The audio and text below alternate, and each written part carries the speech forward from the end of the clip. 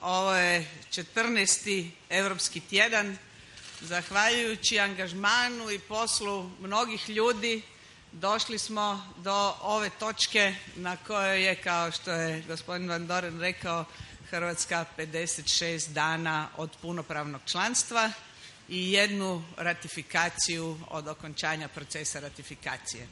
Prije nego što kažem par riječi o tome da kažem par riječi o baki Bari, ovoj lutki koju sam dobila od volonterske udruge X iz Petrinje koja radi na promicanju ljudskih prava, na socijalnom poduzetništvu i baka Bara je proizvod rada žena kasnim 40-tim, ranim 50-tim godinama koje su izgubile posao i teško im je naći novi posao. Okupile su se oko ove udruge, proizvode ovakve lutke, organiziraju kazalište lutaka, odnosno predstave kazališta lutaka za djecu i kao što vidite po vrećici baka Bara ide u Europu. Sve to rade uz podršku i pomoć europskih fondova